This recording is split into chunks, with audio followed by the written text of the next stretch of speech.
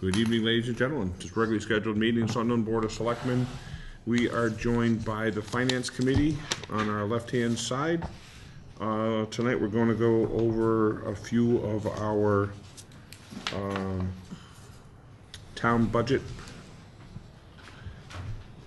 We've got the collector treasurer, the assessors, and the town clerk. So, who wants to start? Susan? Hit us, Susan. You- you- Where would you like me to start? Which budget? Well, I guess the, your biggest problem is health, health this year, right? Healthcare? Yep. You want to start with that? Um, over the past year, we picked up, um, three, three single plans. Uh, we stayed, uh, even with the HMO, um, employee plus one. We picked up three family plans and, um, a PPO plan. Um, all due to Obamacare, basically. Um, people have to have insurance, and if the employer offers, they have to get on. So it's, and it's a moving target. I, it, this was the toughest budget to try to pin down. How, how do you, uh, how do you usually try to wrangle a number out of all that? Well, I usually look at, uh, what I did is I looked at the January bill, and it, insurance is also going up ten percent. So the baseline for the insurance in general? Yes. Yeah, okay. So I took next year's numbers, which are up the ten percent, and I Mhm. used the plans that we had on the books as of January two thousand seventeen. And I also put in two, uh, a little bit of a cushion, I put in two family plans. Okay, That can come out if need be. But, but you won't know that till September anyways, right? Maybe? I'm sorry, You wouldn't probably know that until September, no, what? the, uh, full, full scope of what may happen with the medical because of the, what may happen at the elementary Yeah. schools, right? I mean, will it, will we know? I don't know. I Yeah, you don't know. I don't know. I don't know. I do know it's going up ten percent, um, and that's on the HMO. Um, the other one's a little higher. Um, so I can at least use the current figures for July one. Mhm. So, um, and I can only go on what plans we have right now. We've had so many changes. We, we dropped a family plan, we picked up two singles. I mean, it's been, the last year, it's been all over the place. So, and I don't know, we, we at fifty-five percent are really not affordable according to, um, the ACA. So it can't be more than nine and a half percent of someone's W two. We don't know what someone's W two is, we only know what we issue for a W two. So if they have a spouse, um, it may become affordable when they do their taxes, but we don't know that. So coding it has been really tough. So I'm glad right now we don't, I don't, I don't think they're gonna levy any fines in two thousand sixteen. I don't know what'll happen in two thousand seventeen. So this was the toughest budget. And all I could do was look at the new rates and use what I had for a bill in January. for plans. Scott, questions? Uh, Not necessarily on the um, Ouija board that is the combined impact of health insurance, both enrollment and uh, escalation. If we were to pull the two pieces apart, I'd say 10% is probably the highest we've had in a couple of years. However, if you go back for three or four budget cycles, it was it was higher in the double digits. It was 12 to 18 percent. So this 10 percent is, although a shocker at the base at the base price, it's been pretty good for the last handful of years. We've had several years where they, they just kept it steady Yep. because we used, Hampshire County Group used reserves. Okay, So we uh-huh. didn't have to come back to the people. got it. We had really, you know, healthy bank accounts, we were able to use those Yep. reserves. We're getting lower. Sure, that makes sense, actually. And they're afraid to go, you know, they don't wanna go too Sure. low.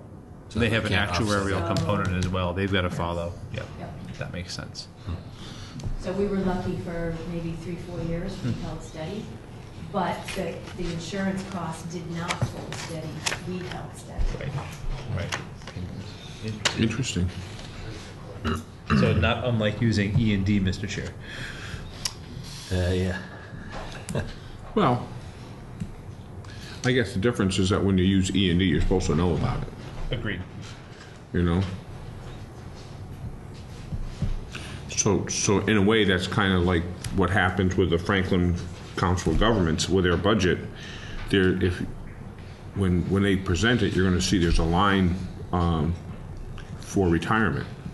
But the state, the, there was just a law passed two years ago where the FRCOG no longer has to pay into the retirement account. They were the only cog in the entire state that was doing that for, for many, many years.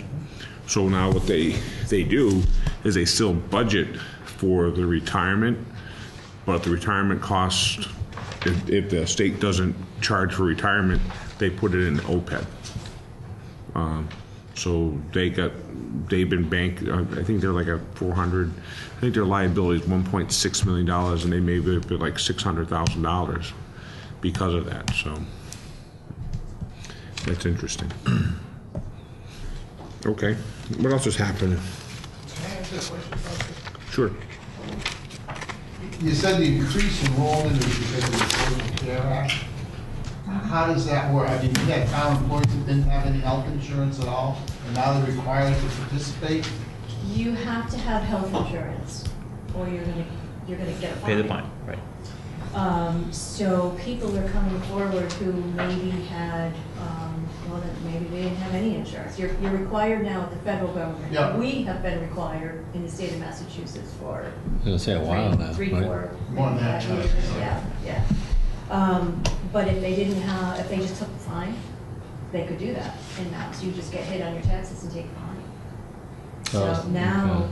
when you're federal, you're federally required to have insurance. So this is why we're seeing an increase in enrollment. Yep, and some people, um, if they are offered through, if they have it through Mass Health, then they've satisfied Mass law. But if they have, if, if they can get insurance through an employer, they have to get off Mass Health, get onto our insurance, and Mass Health will pay them back. And Mass Health pays them back, it doesn't pay send- us. Yeah, they will pay them, yeah.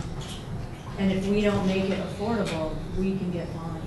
And in last year, I think it was a three thousand dollar per employee fine if you're not affordable. And it will go up each year. And how do they determine what's affordable? That's a very hmm. good question Yeah. for me. Yeah, because I have to send out a ten ninety-five to everybody who's eligible for insurance, so that's whether they take it or not. And I have to code it, how we're affordable, and I know we have some employees who are not, and those would be. And that's based at the on a school. percentage of their gross? Yeah, there are income? different, there are different codes, whether you code it to the W two that makes it affordable, or you code it to, um, their hourly rate. Um, I, I have felt lucky that there haven't been any fines levied, because they haven't really put that piece together. Because I, I honestly do not know how to code it. I mean, they, they just told me through Harper's, it gives me a little bit of help, our payroll service. Uh, do the best you can, is what I've been told everywhere. Do the best you can. There won't be fines yet, but down the road, there will be fines. Unless the Affordable Care Act was changed. Unless it, yeah, it- and it could all go away, and all the work that's been done, and- and Right. all of this could disappear, and we don't know. We we don't have a clue.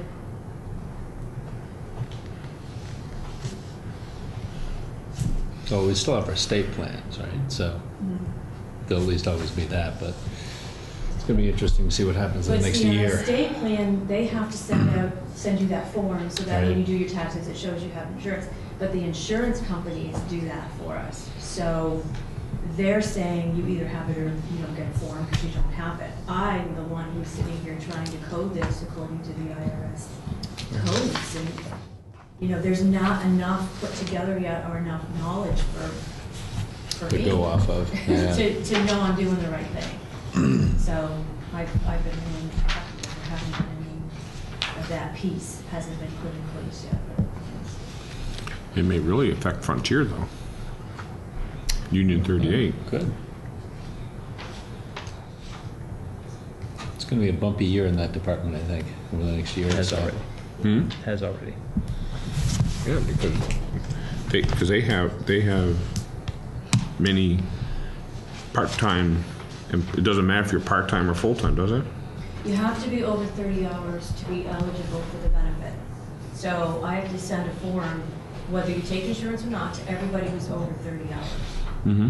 And then, I mean, there's, there's more to it, there are bigger Right. pieces where somebody's part-time, but then if you, you have to choose what your, your average is, and then if it's a six-month period or a year, or whatever you choose, if an employee gets over that, you have to give them insurance, you have to offer it. And then if they drop back down, they could have it for a month, and then they drop back down for the next look-back period, they call it, and they're off. Hmm. So there's a lot of pieces to it. And none of it is, is totally clear and written and stuff. Okay, any more questions on, on that aspect? All right, next. Uh, my expense, um, I think is pretty straightforward. Uh, we have, um, we retired, uh, well, um, the borrowing and the continuing disclosure for the, those are my fees for the FA portion. So it kind of ties back to our borrowing. Um, I pay per borrowing, uh, for them to go out to bid for me. And that actually remained pretty steady, but we've gone in the borrowing, I don't have to do um, refunding loans. I've made a couple of them permanent. So fees went up, but our borrowing went down. Sure.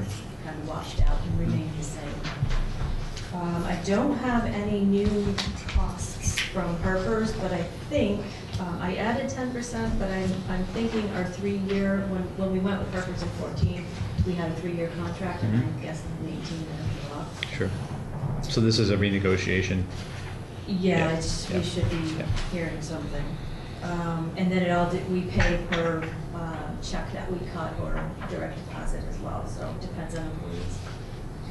Um, Point Software hasn't gotten back to me. I went out five percent on it because they usually run five to eight percent increases. Mm-hmm. And um, the People United Bank Peace Bank fees, I got rid of them in the process, going to um, new banking without any fees. So that will be gone. And um, then that will, I, I now have a scanner at my desk, so that will knock my mileage down. I don't have to go to the bank with deposits, I can do Oh, right good. here. Um, Unless it's cash, and I'm gonna use um, the cooperative bank over here for the cash, because everything else will go right from this scanner. Nice. Um, I think, oh, next year, oh, postage is gonna remain the same, and next year, we should be having to do the new OPEB study all Right. over again, we do that in three years. And that's going to give us our actuarial, that's going to give us our Yes. trajectory. I use the Yeah. term, it's the basis, but the trajectory. Okay. Yeah. And that, who, who performs that, Susan? It's, um, Mark Abraham. Yeah, okay. I, I work with him, I work with another person, who has the company name. So that, that's pretty much my expense. Okay. David, question? No. Scotty? Straightforward. Not on the expense, no.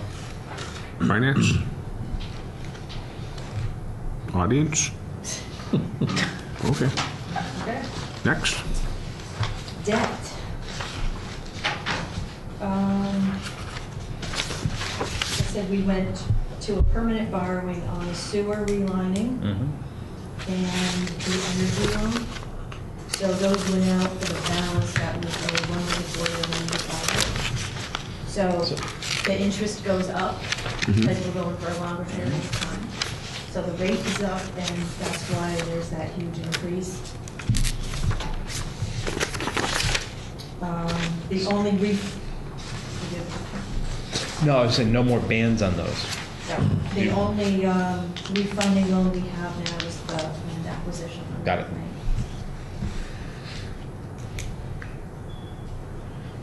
Good.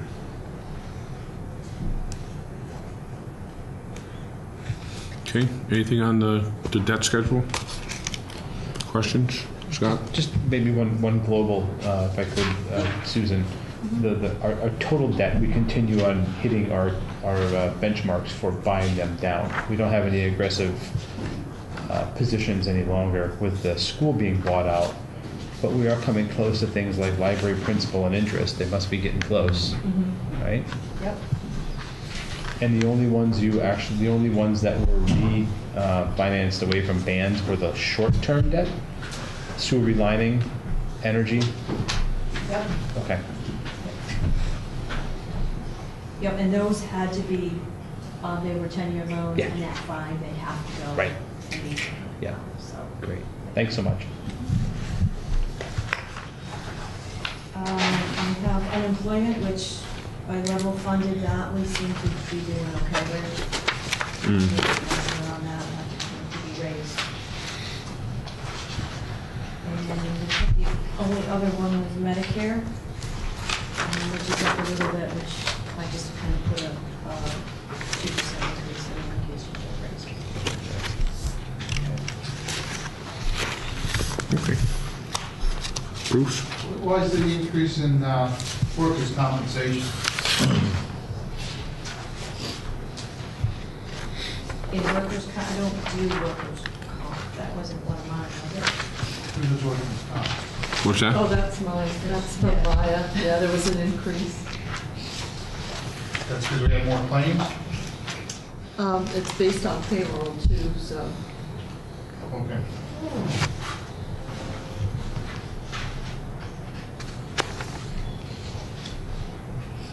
Good. Anything to add? I. Keep up the fine work. Okay. Anybody else have any questions for Susan? Sherry?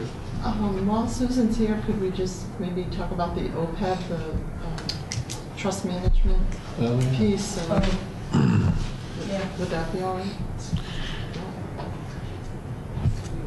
Scott, did you want to talk about that, or did, Uh, Maybe we can do that offline and bring a recommendation back to the board.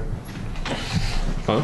We could talk about that offline and bring a recommendation back to Okay, the board. yeah, I agree with that. That, that could be a lengthy discussion. Yeah, people waiting behind. Right. Yeah, Yeah. exactly. Yeah. All right, thank you, Susan. Thanks so much. Okay. Assessors? This is uh, our 2018 budget. We've got six items. First is the assessor's stipend. It's level funded, staying the same, at um, $8,721. The next item is the uh, assessor's, assistant assessor's wages, 13,460, level funded again.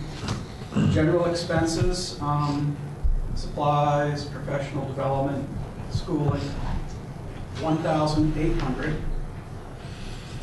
Computer support, seven thousand five hundred. Um, we get support from Patriot Properties and we, uh, we have some GIS mapping. Um, Our tax maps, the assessor's tax maps. It's, uh, two thousand two hundred fifty dollars. One second, Jimmy. One sec. Sherry, can, can you, um, can you get with all the, the the departments and break out what we're actually paying for computer software and annual fees? Can you put that together for us? I think it's more than a lot of people recognize. It seems like there's some, some of their, some of our, uh, what seems, whenever it's a municipal program, the maintenance fees on those are, A little high. Yeah. well, they could be, but I think that I'd, I'd like to get an idea we can kind of let everybody know what it costs us. Right. Some of the computer assessment Run programs. stuff, yeah. Right, because you end up looking at it in isolation in each department, and you need to get Right. a good. Okay. All right, Jimmy, sorry, thank you. Um, Once again, the tax maps for the town. Um, That comes in at 2,250. And our final item is uh, data processing. Um, Reval, we have a- a man and a lady that go out and check the properties for us. Um, That comes in at ten thousand eight hundred and fifty. So add the uh, six items up, it's forty-four thousand five hundred eighty-one dollars. And that's, Well, that, that last Okay. piece is pending, because the contract with Mayflower is expiring this June. So I sent out RFPs to, uh, six different entities, because that's what's required in local. So we don't know what that's gonna come in at. Yeah. But the bids are, we're asking them to be in March twenty-first, so that we can make a decision well ahead of when the contract runs out, so there won't be a gap. In case we go with someone different, or if we stay with Mayflower, we don't know what that's gonna come in at. This is just what we're currently spending, because water district pays thirty percent of the bill. So our portion is ten thousand eight fifty, but the total bill is fifteen-five. So we can't really say what it will be, because we don't know when it's gonna come in at, at this point. Okay. So you carry, carried the current value and then we're waiting for an update and the, however the assessors decide to go with respect to the contracted service. Correct. Sure. Long before town meeting. Well, Thank God. Yeah. Okay, so when, when you, when you put, Teresa, when you put out the, uh, when you put out the RFP, do you go for a one-year, two-year, three-year, five-year, what do you, Well, previously, we had done three years, because that was the period, the reval period, is every three years, but now that's changed to five. So I did, I actually did a year and a half, because the way the contract's been written traditionally was fiscal year to fiscal year, but it makes more sense from assessing point of view to go calendar year to calendar year Okay. and get billed fiscal to fiscal. So I put it out for a year and a half so that we could get whoever to finish this calendar year out and then do a full calendar year. And then that way, if we do go with someone new, we're not locked in if we don't, Right. we're not mm-hmm. happy. Or, you know, we keep them. And then, because it's kind of new territory here, because this is going to five years. We didn't really want to do a five-year contract.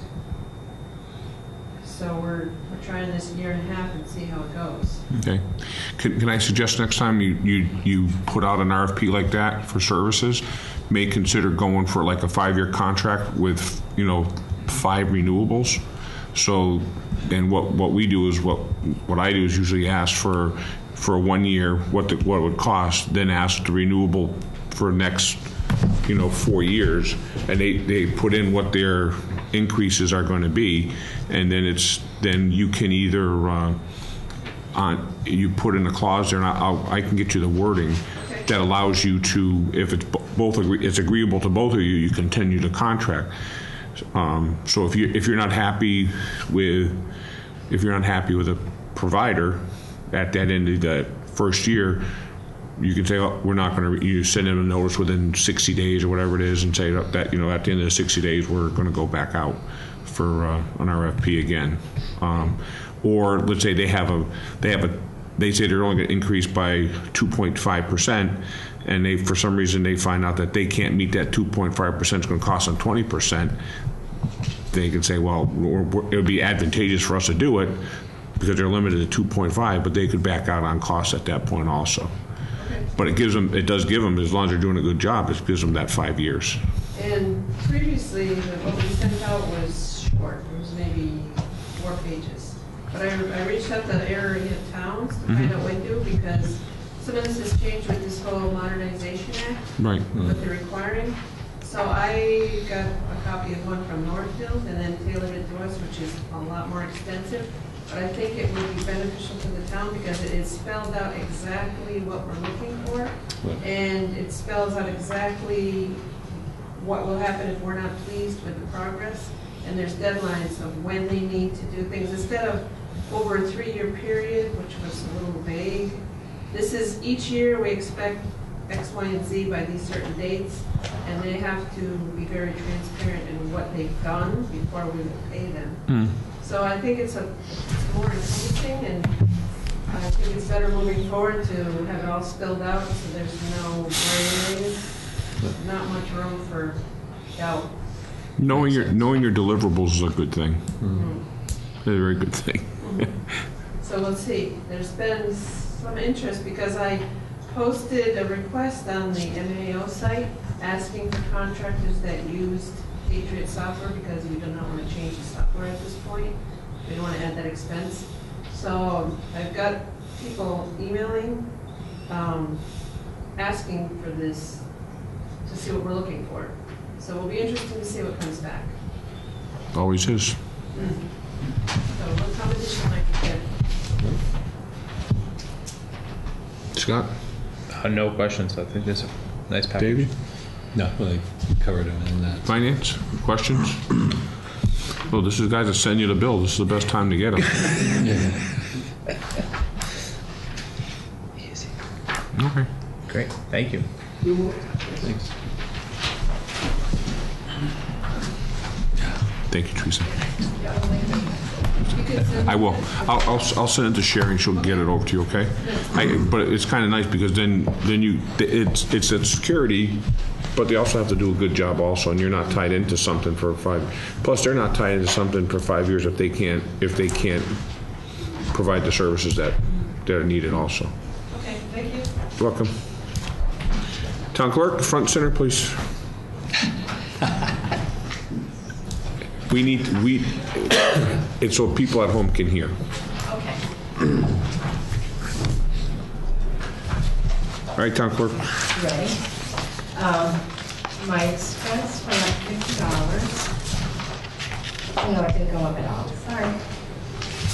And the elections went down two thousand. We have less elections.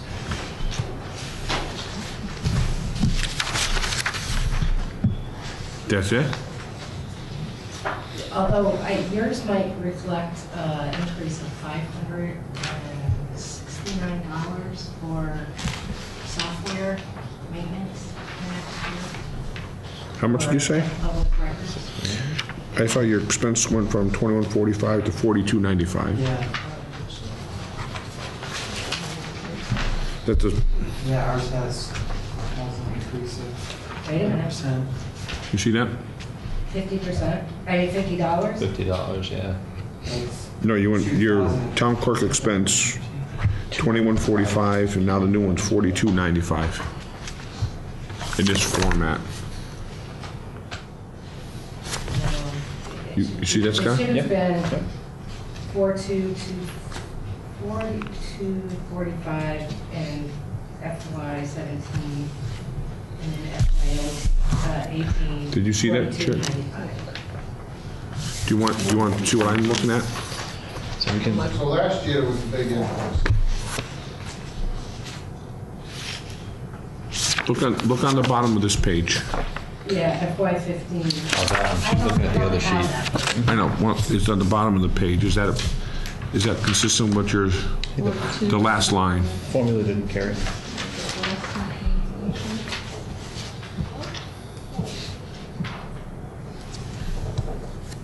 Yeah, 'cause FY fifteen should have been, 16 budgeted was 4245.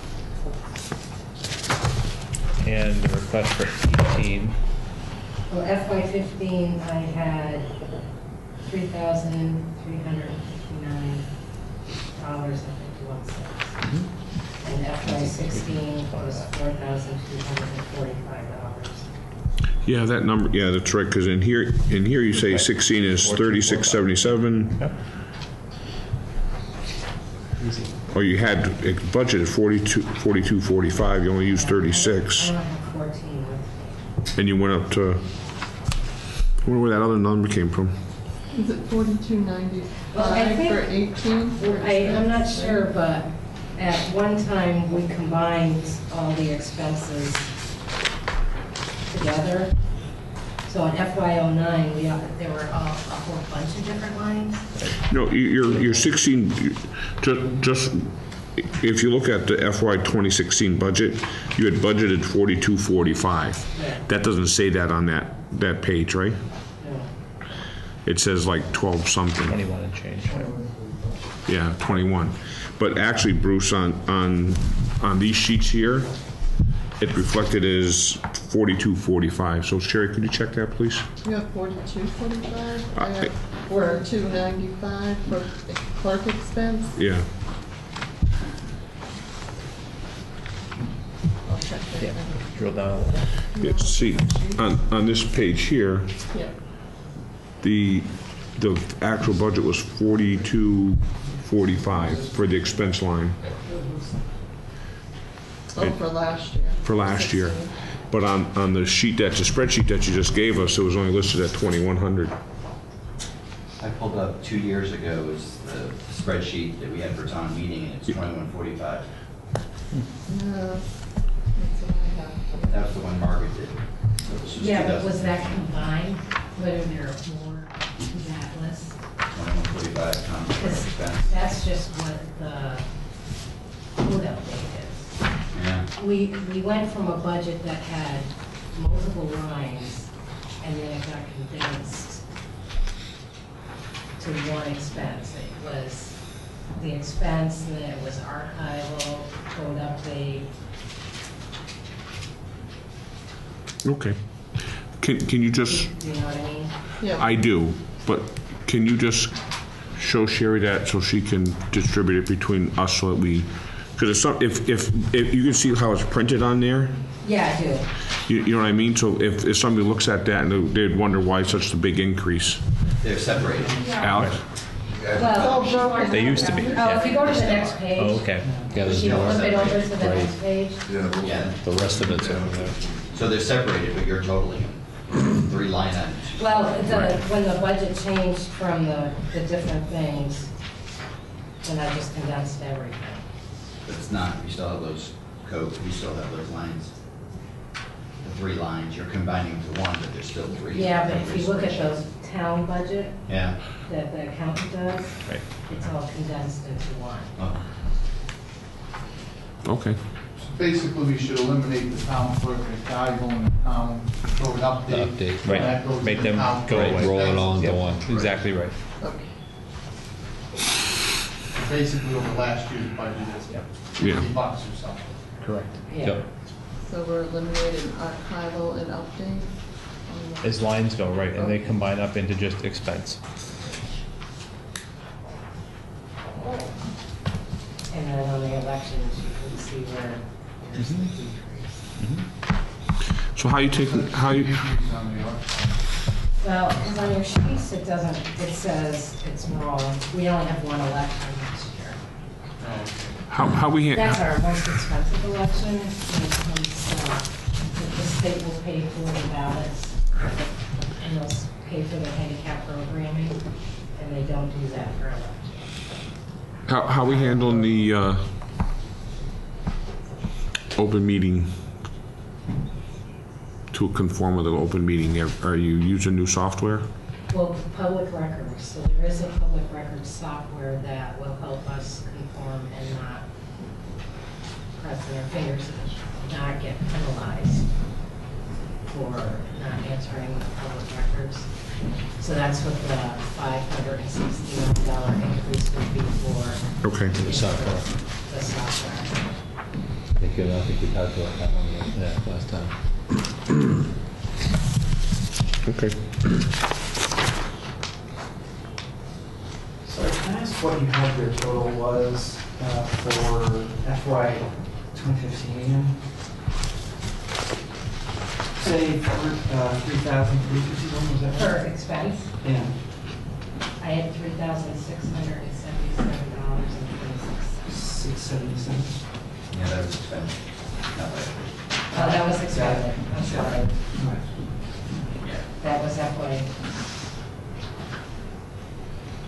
So I don't, I don't have that right off, but if you add, Okay, sorry, I was- I was just. uh, Alex, you have, do you have the spreadsheet from last year?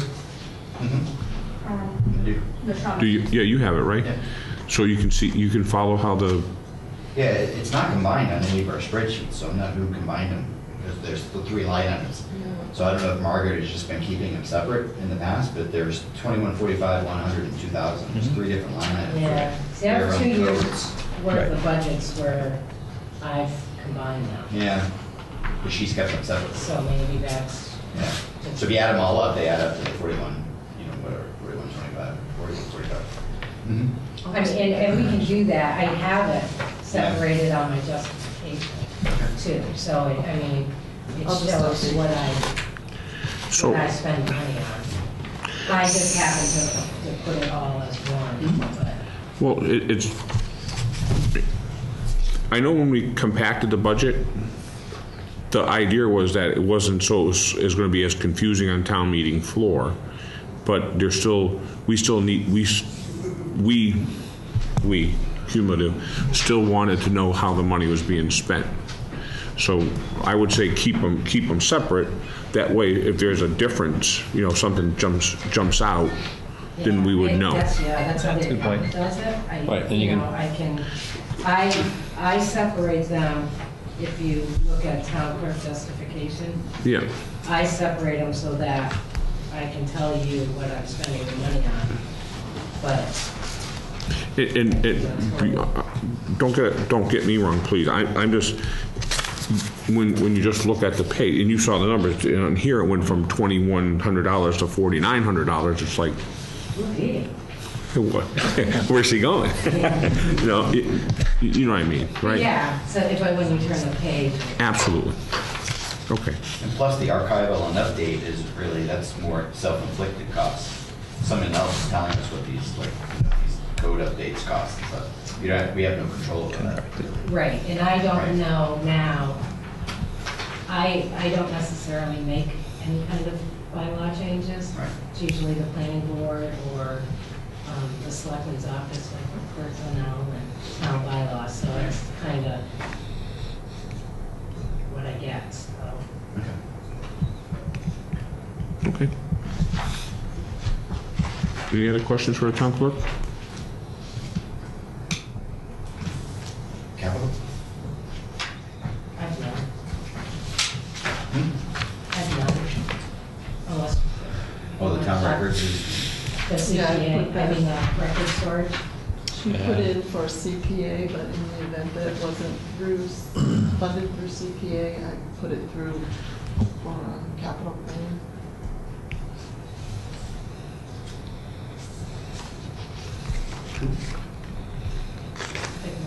it is, we've been talking about. This It's a is, great project. yeah, well, we've done, the CPA, we've done a lot of restoration of books. Yeah.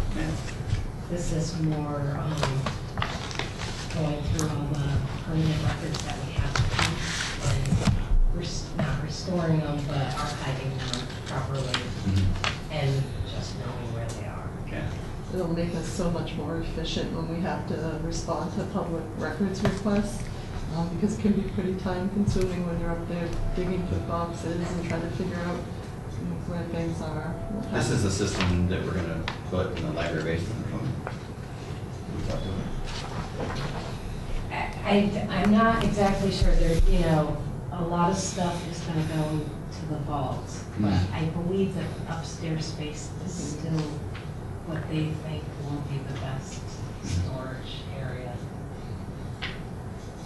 And most of what's upstairs is, um, treasurer stuff, you know, some payroll, um, and bills and the account stuff. And the That's- vault is mostly my stuff. We have to go digging for the most. Yeah. Pay- Payroll's interesting, Sean. You could get someone, a state worker, uh, or a municipal worker, and, and the one I can remember offhand was a uh, teacher from Hatfield when he retired. Well, he, he had worked, he thought, sometime in the town of Sunderland in the summers of 40 years previous to his retirement. So, so we had to go and try to verify if he was actually here or not, because that added, I guess at the time, years of service to his retirement. So he would, so it it can, payroll is a very difficult thing to research, especially if you're looking for somebody that was working there for a short time. And, and, and it's, it, and we do get requests every, I mean, it's not every day, but we get requests probably at least once a year for someone that's looking for some type of payroll from, We have still yet to uh, somebody wanted to know how much they spent on a cemetery plot in nineteen ninety. I don't believe that, that. Thank God they had a check. You know, it, I mean, it- it's, it's, it- it's a mess Gotta dig there. through. Uh, Thankfully, it's But it, it's not smart. And we're talking about going through years and years and years of everybody just picking boxes up. Might be good in a way, you know, to organize it. A Well, we little should- extra benefit, yeah. This, I mean, we should, we should have been doing it Right. This kind of gives us an extra little nudge. And then they'll show us how to keep it up. And Right. We can come in and audit it annually, and then we'll charge, what is it, like five hundred or under? Yeah, that's the important So- thing is maintaining it. It's one thing to like say, okay, we're going to organize everything, but if you don't keep it up, then it just all goes to waste afterwards. I mean, I think we're really committed to, to doing this because I think the law is changed, has Right. changed, and it's, it will cost us money. Okay. Anybody else have questions for town clerk? If they're so important, are they, they like fire rated? Is there like, what happens if this place? Wow, I was just thinking if we get, if the river floods, you know. if- Extrapolate, if Sean. That's why they're The not whole going to building is basement. fire. Yeah, right, exactly. You got to get it up there. Well, Because it's going to happen again at some point. Yeah. If it gets to the third floor, you're right, Bruce. We're all in trouble. Yeah.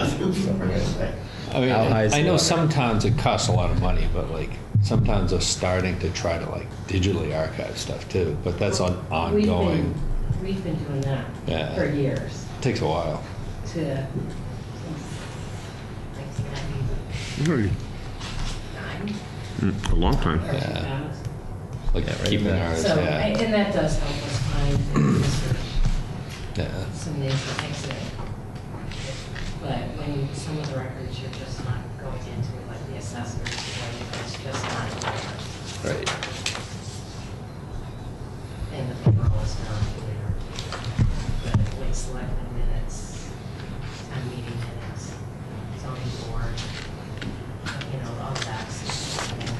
Yeah. That's the kind of stuff people will go after more so than, you know, some of the other stuff. So it makes it, the searching much easier. Yeah. So that, that part, we're ahead of the curve. Anything else? Any other questions? Bruce? Not a lot in the town clerk's budget. The election wages and all that stuff went down, so I can't complain about that. I don't like to see when it goes up. Yeah, we, It's- we thought, we thought, we, yeah, we, we thought about different ways. Yeah, that's the hard part, is like, What's important to bear in mind, years ago, we talked about having it be representative of the cycle as opposed to simply being trended over a couple of years and then, and then retained in the form of free cash. That was one strategy that was employed before this board was in place. We decided some time ago that it would be more important to keep it transparent and actually have people at town meeting go, why is it down? Why is it up? Oh, okay. Cyclical elections. But then I was too afraid of the finance committee saying, why did you have it so high when you don't need it that way? right. We fought, we fought a war about that, ta- taxes about representation, Right. don't forget, back in seventeen. Um, so is there anything else you want to add, town clerk?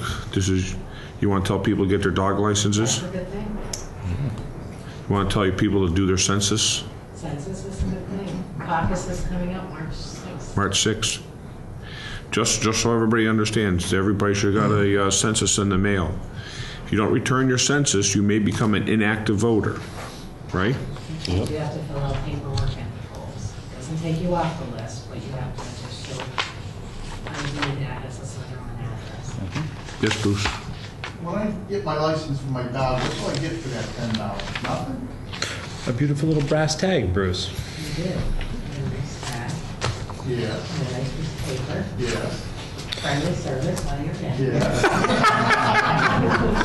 What- Hey, and- what I think that's just like awesome. You don't even get a dog bone? What, what do you get for the boat registration? Hey, Bruce, it's Or not, just Yeah. it's not, it's not a line item in the assessor's, uh, I mean, the town clerk's line, so.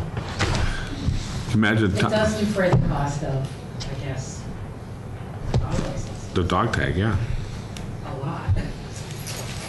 A lot. Well, plus if there's some kind of wild rabies outbreak or something, they can track the Yeah, dogs, that's you not know? that. Yeah. It's part of local receipts and accounts. Yep, It counts, Bruce. every penny. Every penny counts. So the town clerk, other stuff. so town clerk just wants to remind everybody it's time to uh, license your dogs, return your census if you haven't gotten it, if you, or didn't, didn't return it already. If you hadn't got your census, give the town clerk a call so she can uh, send you a new one so we can fill it out, so you don't, you don't get off the registered voter, become an inactive voter. That's right. You don't end up registering in two states or something like that. you know. We're so, yeah. Which is completely legal if you're a member of the White House.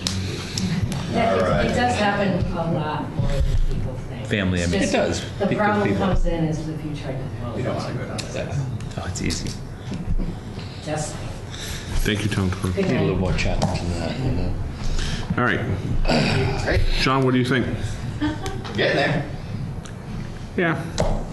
I mean, we- our big things aren't really coming up in the budget. I mean, the healthcare, we knew the healthcare, the the healthcare you're going to see replicated in the, uh, the school budget. That's going to come from the schools. Uh, And we, and we've been hearing about that 10% increase also. Um, Sherry, how did our cherry sheet numbers look? Um, everything's up a little bit. The only thing I have right now is the governor's budget, Right. So we'll have to see how that all pans out too. I'm waiting for House One. I, that hasn't, I checked today and it's still the governor's budget that's out. That's how we usually base our, uh, our projections anyways, on the governor's budget. Hopefully, the, the, the final budget goes up a little bit. Ray Scott? Only thing I would say, Mr. Chair, at this time uh, in our process, we should be getting the, um, beginning to understand the uh, uh, revenue expense request gap. And that it's one more, Sherry and I spoke earlier, there's one more spreadsheet on this. uh, We're, we're continuing to fill out, and that's on the revenue side. You know, Dave- we're we're seven point two and change plus. Yeah. And it's important, even with the House One pending, to understand where we are with our three-year analysis. So, David, have you, uh, finance Personnel committee? personnel committee talked? No, not yet. We met, the personnel committee meeting, the personnel committee met last week, and Sherry and I were talking tonight. It looks like our annual COLA calculation will probably come out to about 2%.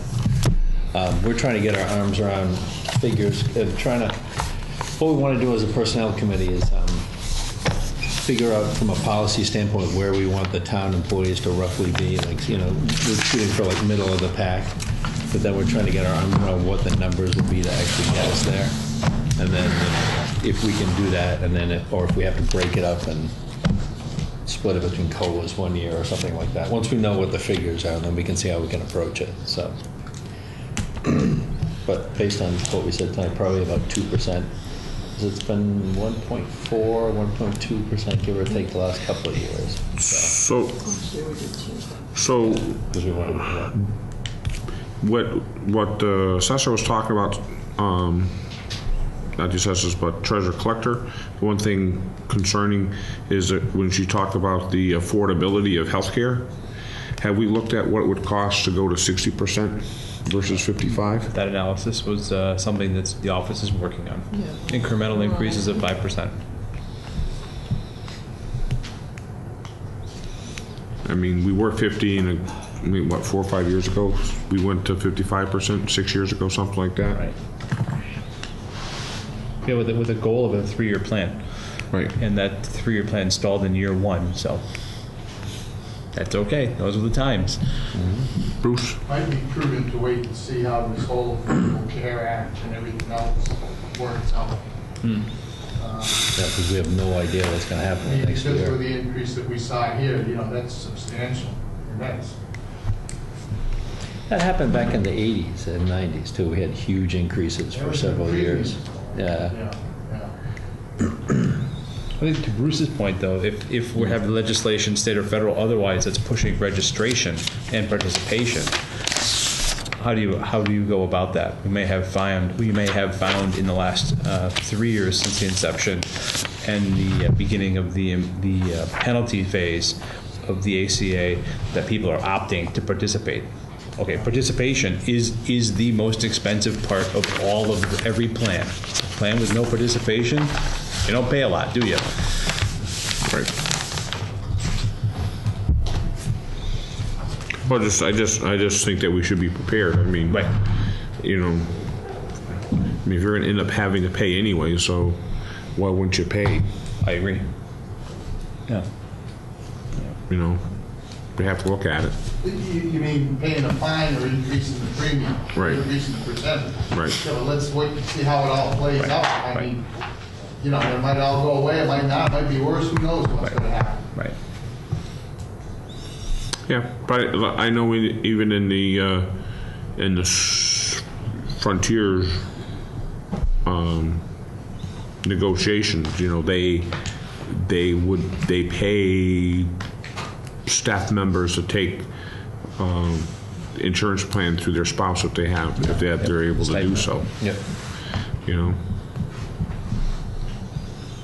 And I know, I don't think, you know, it's not a lot of money, probably less than three thou, I think it's less than three thousand dollars. Twenty-five hundred, whatever it is, it, there's a number, but maybe that's something we have to look at also. I mean, you make that offer. The way she was talking, though, I think these people, this is probably the plan that's most affordable for them, because the town. Oh, absolutely. Right before. Right. So that's why they're opting into the town. Sure. Hampshire, Our plan is not, how would I want to say, consumer friendly for the town employees. It's, it's, it's actually certainly said- not, they're not meant to be a No, competitive he- match. Bruce by any actually means. said something. Yeah. He actually said, you know, Yeah, you're right. The Hampshire Collaborative is doing such a good job having an affordable health programs that more people may be opting into it because you get a good plan plus it's an affordable plan. Good point. But our percentage is lower than most other. Correct. Yeah. Hmm. Interesting. Okay. I guess that's it. Thanks. Thanks, guys. See you in a couple weeks. All right. We'll be here. All right, next up, we're going to talk to the uh, Community Pathways Committee Complete Streets Working Group.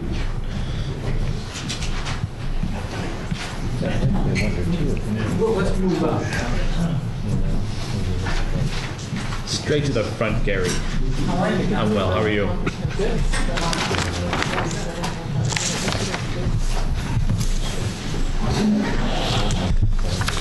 All right, Complete Streets, what would you like to talk about tonight? Complete Streets, of course. Um, So, uh, Sherry indicated that um, since the public forum, I think that uh, you guys had the two folks who showed up for conversation about the complete streets plan. Um, At this point, we're uh, uh, having worked with the COG. We feel like we're in a pretty good place in terms of um, uh, the complete streets projects that we want to submit and, but wanted to have an opportunity to talk to you guys, see if you had any questions, see if there were, uh, was any further dialogue necessary before we decide. Anything else you would add to that, Jim? We're probably ready to prioritize and submit, so we'll be in line for spring funding.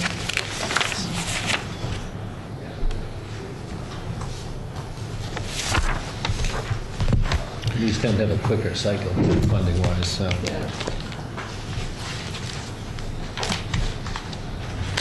I, I think one of, I think one of the, uh, the questions, one of the, one of the residents' question was why there wasn't more of an emphasis to service the south end of town. Seems like it's main, Main Street concentric. Everything's looking at North Main Street, South Main Street, and/or Old Amherst Road. They just probably wanted to talk about that a little bit. No, a really good point. We've, we've in fact had conversations with some of the folks who live down along Plum Tree, which, um, you know, they would love to be able to see uh, sidewalks down there and other, um, uh, other kind of of pedestrian improvements. Um, The challenge that we always understood um, uh, was, was a significant challenge there, is that in order for our highway department to manage to plow that, they now, they would then need to um, have to trail their vehicle um, down there to be able to do that. So I think our focus has been mostly on keeping uh, majority of the improvements coming toward the town where uh, those improvements already are, and um, uh, it eases the maintenance uh, for our highway department. Um, And then certainly, I, I think if you look at the, the uh, Complete Streets program and trying to work on transit, work on, um, uh, you know, bicycle and pedestrian access, um, that's really from kind of, you know, the, the South Main, um, and then coming up Old Amherst Road. I mean, that's where the apartment complexes are, and you've got a lot of folks who are walking in town from there, or walking to Millstone, or walking to the school, so. Others, would you add anything more to that, Dan or Lynn? Nice.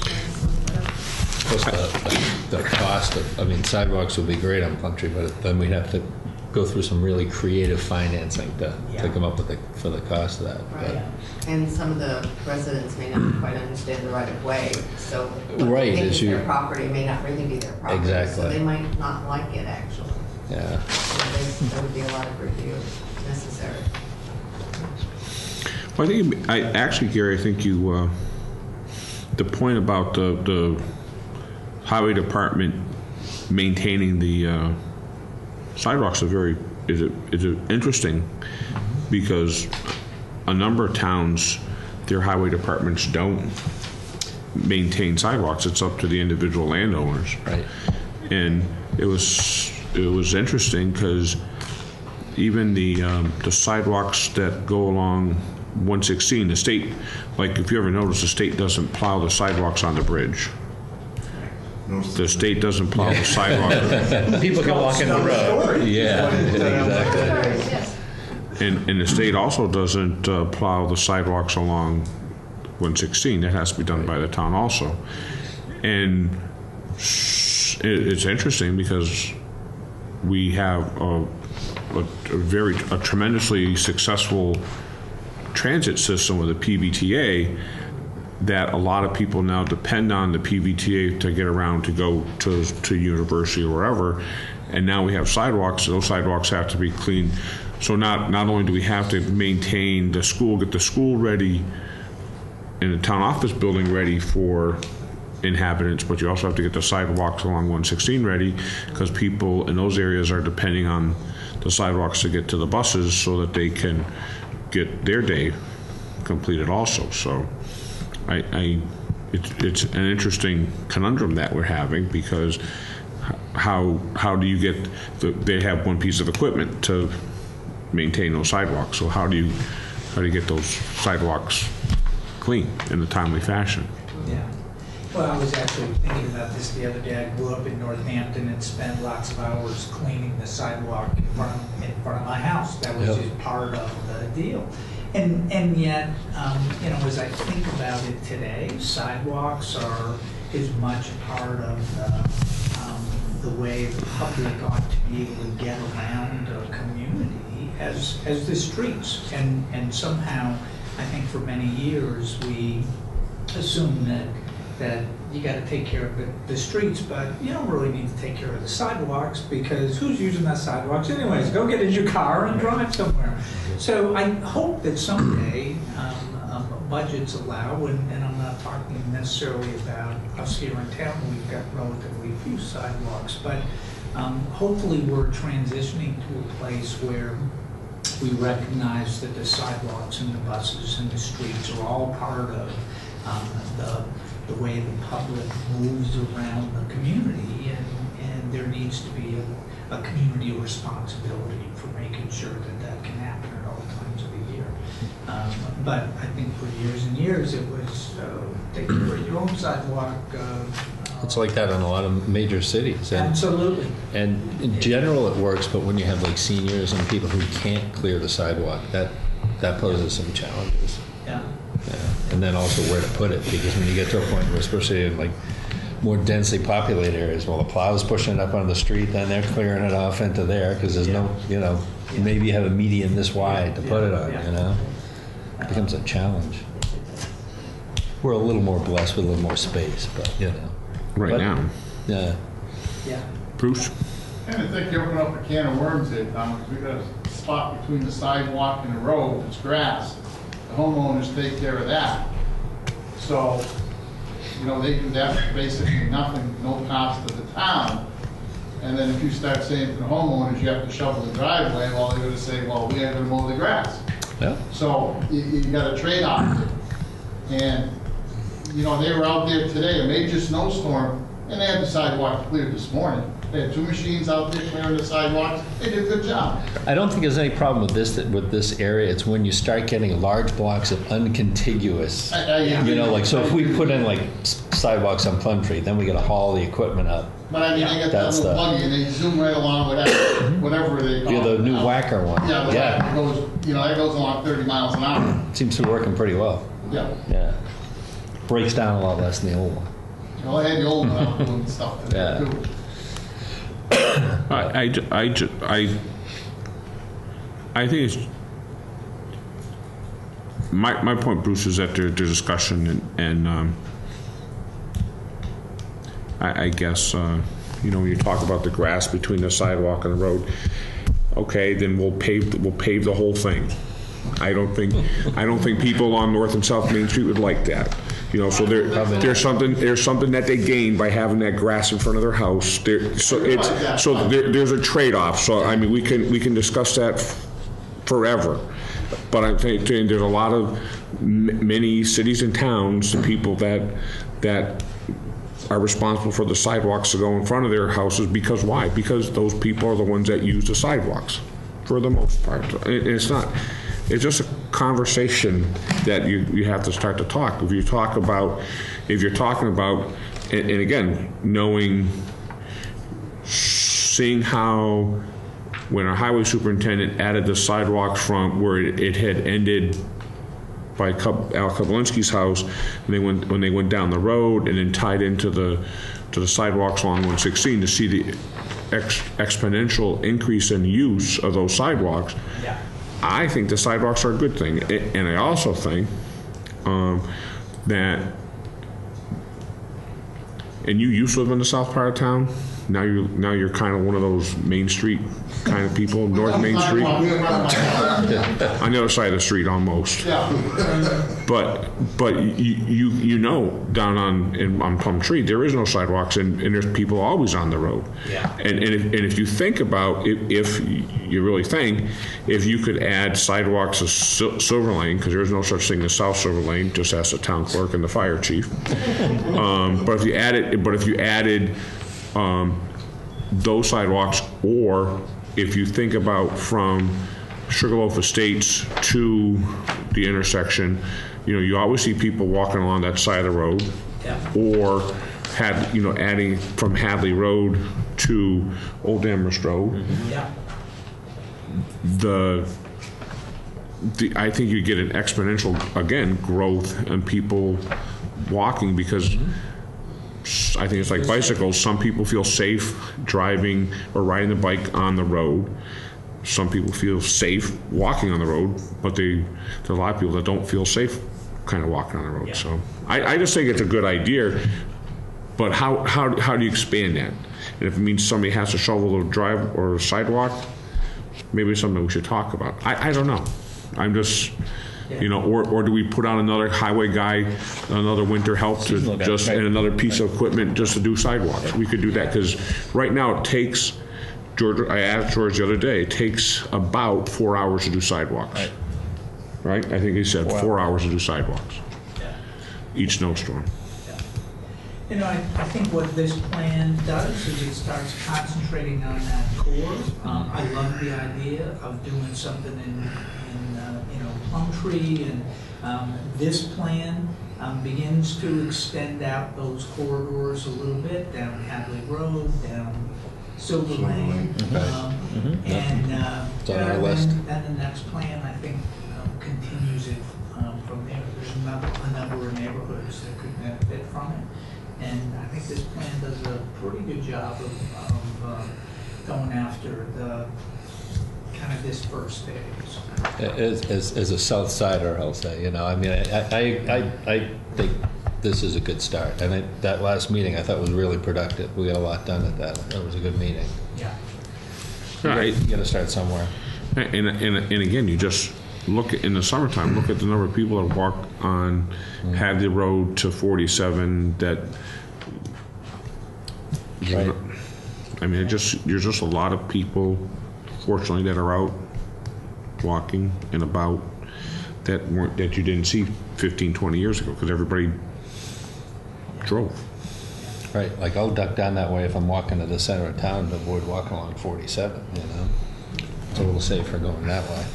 Right. Yeah, especially this time of year with the little constricted roads, and all that blowing snow, you know, it's a little harder for folks. And, and I, I just think like if you did something on Silver Lane, from Silver Lane up to North, North Plain Road, there, there's a lot of potential for doing something there because they made that road so, so stupidly wide. Item number three, Yep.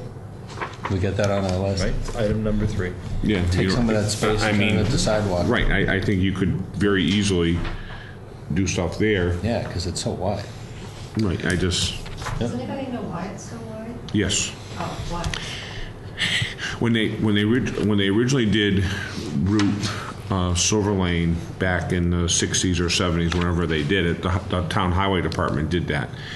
And if you notice, the first section is super wide, and it stays wide for pretty much all the way up to the Connectney Farm. Then it, then it starts going down. Right. It was because of a state designation for that road. It was a collector or um, So that's what, why they- Dan, and Dan probably knows the word, what kind of road it was considered. So they, they had, they thought they had to conform to a, s- the state requirement. So, so what is this, and back, back then, the state was building interstate highways. Right, was Yeah. that before 116 then?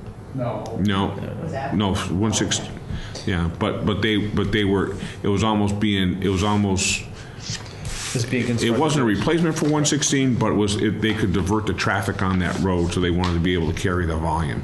I think, Uh, Old Amherst Road, I think that's the same concept there, was why it's so wide. at this big, right.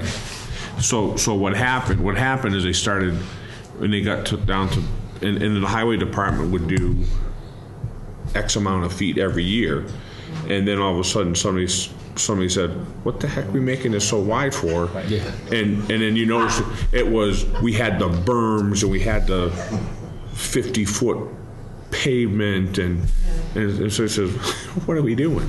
And then they all of a sudden, it's- it- you can see it just started. It just goes yeah. And no more, Yeah. no more berms and, and then, and then one sixteen used So when you got about, that Fabry's house, used to bend right into Fabry's house and there's a big bend and they just cut that right off and, so.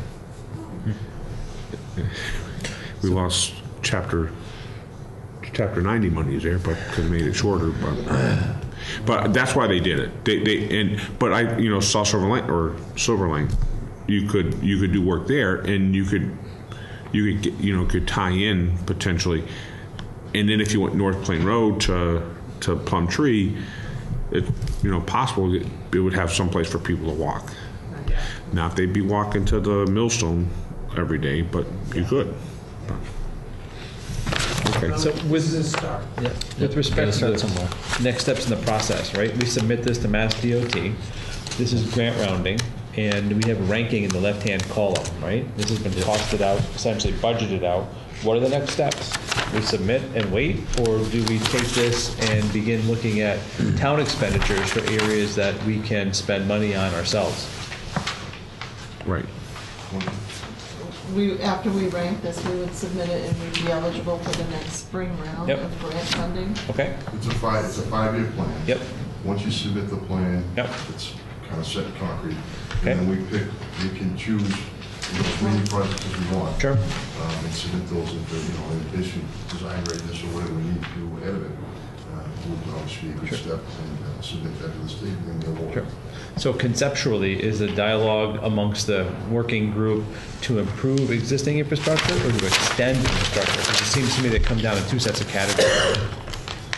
Right? Um, You know, I, I would say it's, it's kind of both. Mhm. Um, in- Infrastructure along uh, School Street, for Mhm. example, Mhm. I, I see that really as more of an improvement. Yep. Um, But then there's a variety of places where, you know, going out to one uh, the apartments on Mhm. 47, um, going down County Road, going Right, um, fixing that You know, so there left-hand are a number of things where we're taking the, or, um, the group is, uh, we're looking at the existing infrastructure and trying to stretch it out. Okay. And then like lighting improvements, things like that. And so is this current ranking as a straw man for discussion, or is this a recommendation of the working group? Um, This was the, um, uh, really the working group's recommendation. I, you know, I think if there are um, new priorities that that the select board has, we feel all of these Or projects. comments from the public in particular? Yeah. Yeah. It's in April first, deadline. Yep. Right. Oh, I, I think uh, town of Sunderland's about a light, light years ahead of many communities with, with this. This is an excellent plan. I, and again, I, I don't have problems with the rankings. I think, I think that they're, I think the ra- rankings are appropriate. I think that maybe you can look at them each year, we go back through. Personally, I think once you do, when you, when you get to the South Silver Lane and/or Hadley and/or Old Amherst Road changes, I think you may find ch- changes are needed at that point. You know, it'd be really nice to be able to get,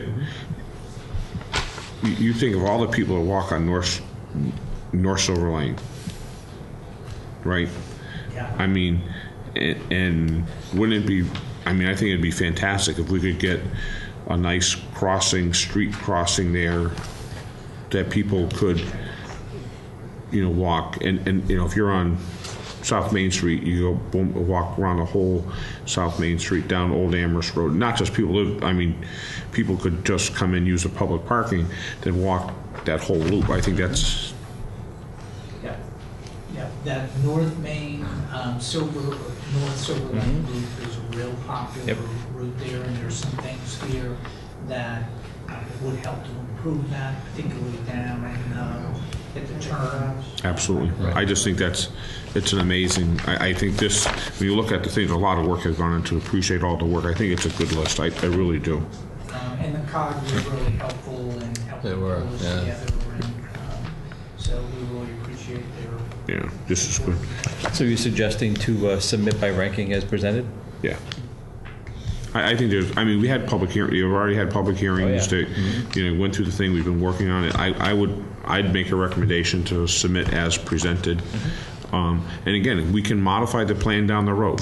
That- And that's a. And as you see the plan grow- To the plan Right, down right. the road, you know, it's gotta be on the plan, but we can Unless you have a plan. rearrange. You yeah. know, that's the can thing. rearrange what's here, but we can't Yeah. add to it. Yeah, exactly. Right. And we can select priorities at various um, points along the way. I agree. So- As, and as, and as time changes, things change, you can make changes accordingly. But I just, you know, it's very, to me, you, when I look at it, there's, there, there's strong recommendations, plus there's some things that can be done right away. There, there- you're not asking for a million dollars, you're asking for, for affordable projects and that are keeping with the whole idea about streetscapes or not, and, and the whole compact. So And it's there's- just good. There's plenty of work. um, There's plenty of work. Yeah, I'll look it up. Yes, I think combined with a number of the other things that are going on in town, uh, you know, Main Street improvements over the next, uh, uh, really making progress. Sure. Uh, Move to submit the plan as uh, presented and ranked. Second. A motion made and seconded. All those in favor, please signify by saying aye. Aye. Sherry, three zero, please. Thank you. Thank you. Thanks. I like that. Um, Minutes of uh, February 6th. Have a great day. Uh, Motion. I'll second. Motion made and seconded. All those in favor, please signify by saying aye. Aye. Three zero, Sherry. Uh, Selectmen update, Scott? Uh, We had a uh, police negotiation meeting last week. We continue to move forward with that. We have a capital planning committee meeting this week, Wednesday. And uh, we'll, for introductions of folks at the COG, we're helping with design of the capital plan, so that's a good thing. Good. Um, And then be able to continue to work with the, um, with Sherry on the, uh, the revenue side and, and formatting there. Again, I think that the town has seen that, the, the formatting for the last decade, and it's an important for us and an important tool, so that'll be good to have in front of us. Thank you. David? Uh, I'm good, I gave my update earlier, so. Okay. Um, I'm, we're gonna have South County EMS this week and the, uh, senior center as well, so. Sherry, any town, town administrator updates?